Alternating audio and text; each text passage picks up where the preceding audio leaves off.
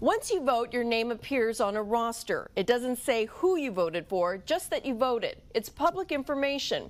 If your name doesn't appear, campaign workers will sometimes reach out to encourage you to vote. Channel 5's Alyssa Cole with what you should look out for.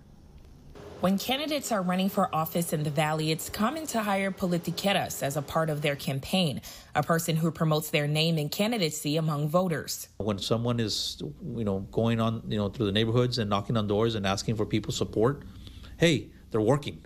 But Hidalgo County District Attorney Ricardo Rodriguez says candidacy promotion can sometimes become a problem. When there's some kind of bribe uh, to influence someone to vote uh, the way you know that person is asking them. Of course, you know there's a crime there.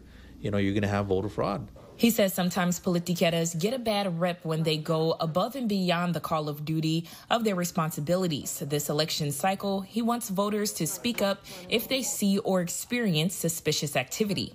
If someone's doing that, they should report it here to our office uh, or to a law enforcement agency or uh, to the attorney, you know, the attorney general's office as well. Officials say you can also report suspicious activity to the Secretary of State's office or the Texas Ethics Commission. Alyssa Cole, Channel 5 News.